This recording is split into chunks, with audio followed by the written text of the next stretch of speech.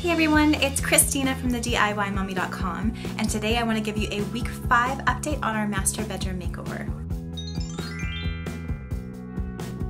Hey everyone and welcome back to my channel again today. Thank you so much for popping in to say hi and to see what DIYs I'm up to this week.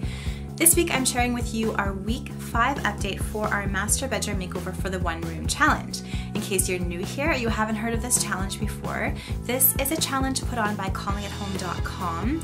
Um, she offers this uh, challenge to guest bloggers and some interior decorators as well to make over one room in the period of six weeks. So we chose to work on our master bedroom.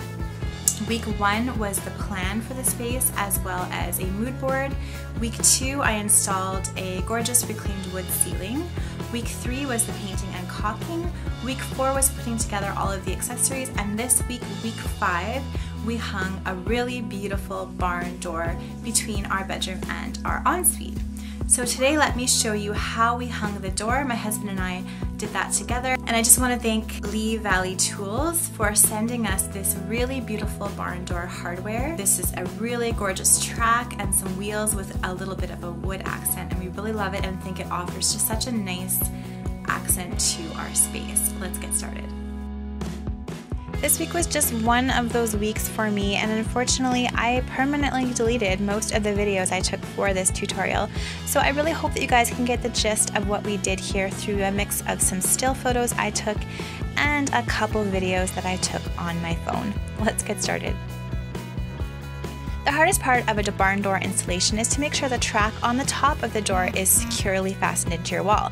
We were lucky because we have wooden headers behind and on top of all of our doors, so we just bolted the track right into the wooden header. If you're not so lucky, you'll just have to make sure that the holes in your track line up directly with studs in your wall, or just add a piece of trim across the whole entire top of your door and then secure the track onto that. We used some long lag bolts and a drill to secure our track on the door. Next, install the rollers on top of the door. This is pretty easy, just use a drill and some wood screws.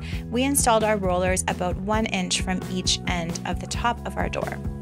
Finally, all you gotta do is pop that baby onto the track. The rollers on ours just popped right onto the track and then install some stoppers on the end.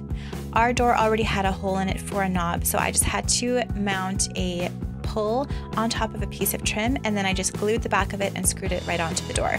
We already had this door and it was an oopsie door from our build so I thought it was a cool way to reuse what we already had. I painted the whole thing with the same white paint as we used for our trim and I think it turned out pretty great. I think this adds a nice detail to this wall between our master and our ensuite and it's also functional as well so we can close it if we want some privacy between the bedroom and the bathroom. Make sure to pop in next week because I am sharing the final reveal of our entire master bedroom makeover and I can't wait to show you.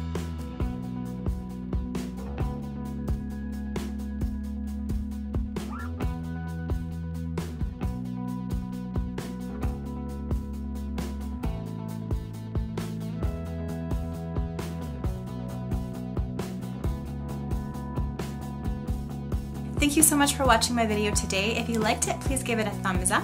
If you have any questions or comments on this DIY, please leave a comment in the comment section below.